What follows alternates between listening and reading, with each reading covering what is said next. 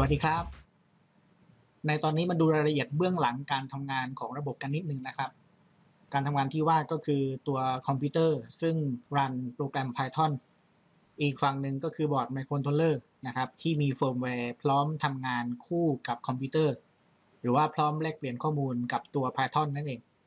เมื่อเราพิจารณาไปที่การแลกเปลี่ยนข้อมูลนะครับ โดยปกติเราจะเรียกสิ่งนี้ว่าเป็น request response request ก็คือตัว Python ทำการ request อะไรบางอย่างไปที่ microcontroller เมื่อ microcontroller ได้รับการ request นั้น microcontroller จะตอบสนองกลับมาเป็น response นะครับ ถ้าเรามองลงลึกไปอีกนิดนึงตัว request ก็คือ data frame ที่บรรจุรายละเอียดของการ request หรือว่าการร้องขอนั้นนะครับ ส่งไปที่ microcontroller microcontroller ทำการตีความว่าทางฝั่งคอมพิวเตอร์เนี่ยส่ง request หรือว่าส่งคำร้องขออะไรมานะครับ จากนั้นทำการสร้างตัว response หรือว่าสร้างข้อมูลชุดหนึ่ง ข้อมูลชุดนี้ถูกส่งกลับไปที่ตัวคอมพิวเตอร์ หรือว่าที่ตัว Python จากนั้น Python ก็ตีความต่อว่าสิ่งที่ได้รับมาเนี่ยเป็นอะไรนะครับ เราจึงเรียกว่าเป็น request response ถ้าเราพิจารณาไปที่ลักษณะ หรือว่ารูปแบบหรือว่าชนิดของตัวอุปกรณ์นะครับ ในที่นี้ตัวคอมพิวเตอร์เราเรียกว่าเป็นตัว client microcontroller เรียกเป็น server client ทำการร้องขอ server ทำการตอบกลับ ในทำนองเดียวกันเมื่อเราพิจารณาไปที่ระบบอุตสาหกรรมเครื่องจักรอุตสาหกรรมทั้งหลายเนี่ยเราจะเรียกสิ่งนี้ว่าเป็น master slave นะครับ เช่น modbus เราจะมี master ตัวหนึ่งมี slave หลายตัวอยู่ใน network สำหรับของเราเนี่ยตัว master ก็คือตัวคอมพิวเตอร์ซึ่งรัน Python อยู่ ในขณะที่ slave ก็คือตัวบอร์ดไมโครคอนโทรลเลอร์ซึ่งรันเฟิร์มแวร์ของมันอยู่นะครับ จะเป็น client server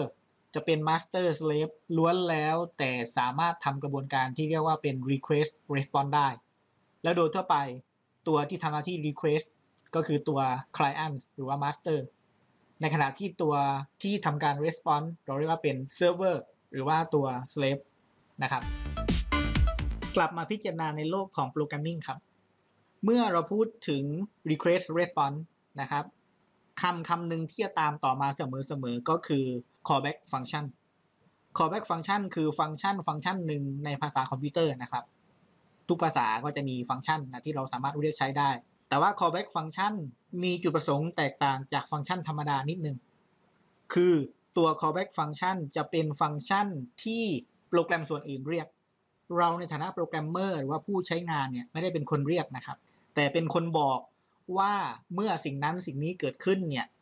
ให้ไปทำ callback function ตัวไหนนะครับ ในที่นี้ก็คือเมื่อตัวคอมพิวเตอร์ทำการส่ง request ไปยังไมโครคอนโทรลเลอร์ไมโครคอนโทรลเลอร์จะต้องทำการตีความ request นั้น จากนั้นก็ประมวลผลโดยการไปดูว่า request อะไรมา แล้วต้องสร้างข้อมูลเพื่อนำมาสร้างเป็น response package กระบวนการตรงนี้อาจจะใช้เวลานะครับ อาจจะเป็น 10 millisec ร้อย millisec หรือว่าเป็น 1 นาที ตรงนี้ไม่สามารถคาดเดาได้ ในเมื่อเวลาตรงนี้ไม่สามารถคาดเดาได้ ความหมายก็คือคอมพิวเตอร์ซึ่งเป็นคน request ก็จะต้องทำการ รอ response แบบที่ไม่สามารถคาดเดาได้เลยว่าเมื่อไหร่ข้อมูลจะมานะครับ10 millisec ร้อย millisec ไม่สามารถคาดเดาได้เลย เพราะว่าเรื่องของ communication เนี่ยเป็นเรื่องที่คาดเดายากในเชิงเวลา เราจำเป็นต้องทำการวน loop รอจนกว่าจะมี response กลับมา แต่ถ้าเราใช้ callback function หลังจากที่คอมพิวเตอร์ส่ง request ไปแล้วนะครับก็บอกไปว่าหลังจากที่ข้อมูลมาแล้วให้ไปทำ callback function ตัวไหน ความหมายก็คือ request เสร็จคอมพิวเตอร์ก็ทำอย่างอื่นเลยนะครับ ข้อมูลจะมาไม่มาเดี๋ยวค่อยว่ากันทำอย่างอื่นไป พอข้อมูลส่งกลับมาก็กระโดดเข้าไปทำยัง callback function นั้น ข้อดีก็คือในระหว่างที่รออยู่เนี่ยคอมพิวเตอร์สามารถทำอย่างอื่นได้เยอะแยะมากมายครับ นะโดยเฉพาะ 10 millisec ร้อย millisec หรือว่า 1 นาทีเนี่ยทำอะไรได้เยอะมาก นั่นคือข้อดีของการใช้ callback function อาจจะเรียกว่าเป็น event driven ก็ไม่ผิดนะครับ ซึ่งเดี๋ยวผมจะพูดในตอนต่อไปว่า event driven คืออะไร event driven ก็คือเมื่อมีเหตุการณ์เกิดขึ้น ก็ไปตอบสนองเหตุการณ์นั้น แต่ในกรณีนี้ก็คือ เมื่อมี response ส่งกลับมา ก็ไปทำ callback function เพื่อประมวลผล data ที่รับเข้ามาทาง response message นั่นเอง เพื่อเพิ่มความเข้าใจมากขึ้นนะครับ เดี๋ยวไปดูกันว่า request response แล้วก็การใช้งาน callback function เนี่ยใช้กันอย่างไร รวมไปถึงไปดูวิธีการประมวลผลข้อมูลที่ส่งผ่านเข้ามาทาง callback function นะครับว่ามีวิธีการกันอย่างไรบ้าง เช่นเคยครับ ผมเปิด VS Code ขึ้นมาแล้ว จากนั้นทำการสร้างไฟล์ใหม่ชื่อ x03 request response callback แล้วก็ทำการ import ตัว cmdek เข้ามาแล้วนะครับ ในตอนนี้เรามาดูกันว่าการ request คืออะไร จริงๆ การ request เนี่ยเราได้เรียนรู้ไปแล้วตั้งแต่ตัวอย่างที่ศูนย์เลยนะครับ ตั้งแต่ตัว getting start แต่ว่าเรานิยามสิ่งนั้นว่าเป็นการเรียกใช้ฟังก์ชัน ฟังก์ชันทั้งหมดที่อยู่ใน cmdeck นะครับ ที่เป็นฟังก์ชันในกลุ่มของการเชื่อมต่อไปยังบอร์ด ไม่ว่าจะเป็นการเรียกใช้ฟังก์ชันในเชิงควบคุมการทำงานของบอร์ด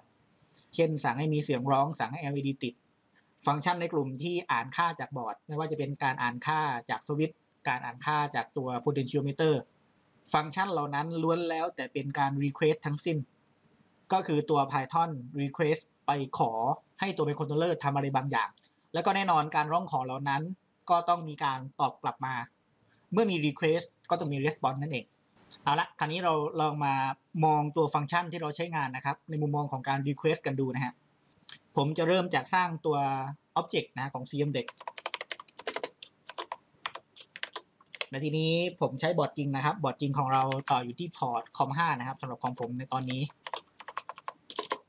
request ที่หนึ่งผมจะให้มีเสียงร้องบีบนะครับ ก็เหมือนเดิมครับ cmdeck beep นะครับ ผมต้องการร้องให้ดังนาน 1 วินาทีก็คือ 1,000มิลลิเซกแล้วก็ต้องการให้มีความถี่1กิโลเฮิรตซ์ก็คือ 1,000เฮิรตซ์นะครับ นี่คือการ request นะครับ ส่งคำสั่งไปบอกไมโครคอนโทรลเลอร์ว่าให้ส่งเสียงร้องออกมา 1 วินาที ด้วยความถี่ 1,000 เฮิรตซ์หรือว่า 1 กิโลเฮิรตซ์นั่นเอง กรณีนี้ตอนที่เรารันโค้ดก็จะมีเสียง beep ออกมานะครับ แล้วในเวลาเดียวกันนะหลังจากที่ไมโครคอนโทรลเลอร์สร้างเสียงร้อง beep มาเนี่ยไมโครคอนโทรลเลอร์จะทำการส่ง response กลับมานะครับ แต่ว่าตอนนี้เรายังไม่พูดถึงตรงนั้นนะครับ ให้ดูวิธีการ request ก่อน ก่อนจะรันสคริปต์ตัวนี้นะครับ ลองมาทำการ request อีกสักหนึ่งคำสั่งนะครับ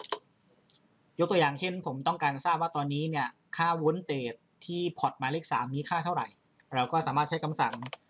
cmdec.adc 3ได้เลยนะครับ เพื่อง่ายต่อการเข้าถึงอาจจะมีตัวแปรตัวหนึ่งมารับนะครับพอร์ต3เท่ากับ จากนั้น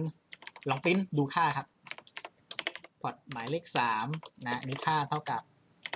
พอร์ต3นะครับ อีกครั้งนะครับบรรทัดที่ 5 ตรงนี้เราทำการ request โดยใช้ฟังก์ชันนะครับ ฟังก์ชัน beep ส่วนบรรทัดที่7เนี่ยนะครับมันเหมือนกับการโยกย้ายตัวแปรโยกย้ายค่าจากตัวแปรหนึ่งมายังตัวแปรหนึ่งแต่ว่าตรงนี้นะครับเราทำการใช้ความสามารถของ getter ซึ่งอยู่ใน cmdex นะตัว setter ข้างในจริงๆ ก็คือฟังก์ชันที่ทำการ request ไปถาม controller ว่าตอนนี้เนี่ยตัวพอร์ตหมายเลข 3 มีค่าเท่าไหร่อยู่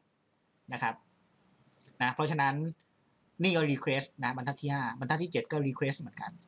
นะครับอะลอง save สคริปต์ตัวนี้ครับ แล้วก็ลองรันดูฮะอ่าเราจะได้เสียงร้องออกมานะครับ พร้อมกับบอกมาว่าตอนนี้พอร์ตหมายเลข3มีค่าเท่าไหร่โอเคนะครับ นั่นคือการ request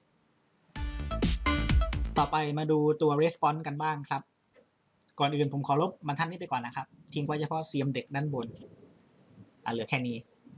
เพื่อเห็นภาพนะครับ เราจะทำการ request เพื่อไปทำอะไรบางอย่างกับบอร์ดนะครับ ยกตัวอย่างเช่น สั่งให้ตัวบอร์ดทำการ toggle LED มาเลข3นะครับ cmdeck.led invert นะครับ invert ใคร invert LED มาเลข 3 จากนั้นถ้าเรานำเมาส์ไปชี้ที่ชื่อฟังก์ชันเนี่ยสังเกตนะครับว่า parameter ตัวถัดไปนี่คือ callback function callback function สามารถเป็นฟังก์ชัน หรือเป็น lambda function ก็ได้ มาดูแบบที่ 1 ก่อนครับ ที่เราใช้มาก่อนหน้าก็คือ lambda function นะฮะก็คือ lambda ตามด้วยตัวแปรตัวหนึ่งอะไรก็ได้ครับ ต่อไปก็คือฟังก์ชัน body ผมจะทำการ print นะครับอาจจะ print คำว่า response นะครับ แล้วก็ค่าในตัวแปร res ตัวนี้บรรทัดนี้นะครับจะทำการ make request แล้วก็ response กันเยอะมากนะครับ เพราะว่าตัว cmdeck เนี่ยต้องการทราบค่าทุกอย่างตามที่เราเห็นตรงนี้ครับด้านล่างตรงนี้นะ เพราะฉะนั้นเนี่ยบรรทัดนี้เราจะมี response message อย่างอื่นมาด้วย อาจจะเป็นของ switch หรือของ A to D นะครับ ลองรันดูก่อนครับ ผมรีดันตรงนี้นะครับ ตอนนี้เรามี message ของ ADC นะซึ่งเป็น response ของ request ก่อนหน้าเพื่อได้มาซึ่งสิ่งนี้นะครับ แต่ว่าที่เราสนใจมีคำสั่งเดียว ตัวทีครับมี response เดียวก็คือตัว response ของ LED ตรงนี้นะครับ ตรงนี้ก็บอกว่า response message ตัวนี้โอเคดีนะถูกต้องปกตินะครับ เป็น response ที่มาจาก LED แล้วก็ LED เป็น ID 3 หมายเลข 3 ฟังก์ชันที่เรา request ไปคือหมายเลข 2 หมายเลข 2 คือ toggle เนี่ยนะครับ แล้วก็ status ปัจจุบันก็คือ 1 1 ก็คือ on อันนั้นคือความหมายนะครับ รายละเอียดของ return message ตรงนี้สามารถดูได้จาก CM เด็กนะครับ ที่ผมเคยแนะนำไปก่อนหน้านะว่าตีความมันอย่างไร ในกรณีนี้เราไม่ได้ฟิลเตอร์ เอาเฉพาะ LED นะครับ LED ก็เลยโผล่มาด้วยนะครับ เพราะว่าตอนที่เราไป register ดักจับอีเวนต์ข้างในนะฮะผมดักจับทุกอีเวนต์ออกมาเลยนะครับ นั่นคือความหมายว่าทำไมเราถึงได้ ADC มาด้วยนะครับ ตรงนี้มาจากการ Request ก่อนหน้า ถ้าเราไม่อยากได้ทำอย่างไร ก็ทำได้หลายวิธีครับ เช่นทำการ import standard โมดูลของ time มาครับ แล้วก็หลังจากตัว CM เด็กตรงนี้นะครับ หลังจากสร้าง CM เด็กเราอาจจะเป็น time dot sleep จากนั้นลองรีรันใหม่ดูครับ อ่าสังเกตนะครับ ตอนนี้ตัว ADC ไม่ได้มาแล้ว เพราะอะไรครับ เพราะว่าตอนที่ Object ถูกสร้างนะครับ ข้างในจะทำการ request response กันหลายครั้งมากนะ เช่นอ่านค่าจาก LED อ่านค่าจาก switch อ่านค่าจาก A to D นะครับ ก็ให้เขาทำไป ในระหว่างนั้นเรารอ 1 วินาทีนะซึ่งแน่นอนว่า 1 วินาทีนี่กระบวนการข้างในเสร็จแล้วแน่ๆนะครับแล้วก็ค่อยทำการรันโค้ดของเราที่นี่ เรา make request ไปเพื่อทำการ invert LED แล้วรอ response กลับมาที่ตัวแปร res ตัวนี้ แล้วก็ print ออกมานะครับนี่คือผล นั่นคือตัว response message ต่อไปมาดูรายละเอียดของตัว callback function กันนิดนึงครับเช่นเดิมนะครับ ก่อนอื่นผมขอลบทุกอย่างที่ไม่เกี่ยวข้องออกไปก่อน เริ่มจากตัวฟังก์ชันธรรมดาก่อนนะฮะใน Python เราใช้ def นะครับ เพื่อ define ตัวฟังก์ชันนะครับ เช่น print info นะ print information ตรงนี้ อาจจะรับมาเป็น message แล้วก็ print นะครับ